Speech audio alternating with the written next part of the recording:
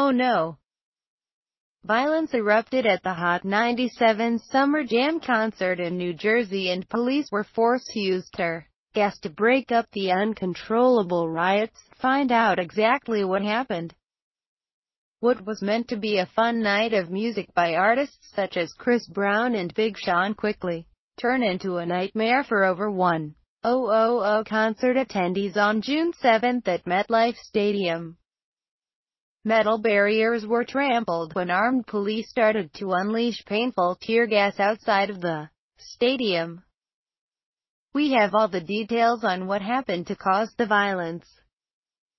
Eyewitnesses blame the riots, which started around 7 p.m., on slow security preventing people with tickets from getting into the concert in time, Daily Mail reported.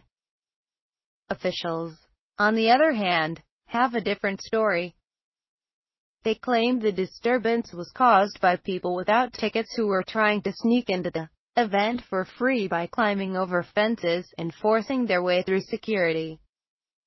When police arrived to the scene, they tried to disperse the large crowd by setting off an ear-piercing alarm, and when they didn't work, they were forced to use the tear gas.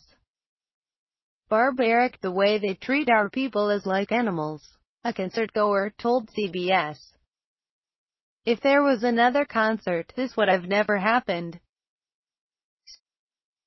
The annual concert was held by New York radio station Hot 97 and featured popular performers like Chris Brown, Kendrick Lamar, Trey Songz and Big Sean. Another concertgoer told Daily Mail, security was being extremely slow, and people were waiting to be let in. I had a ticket. Everyone had ticket, but security was being very slow, and everyone got agitated.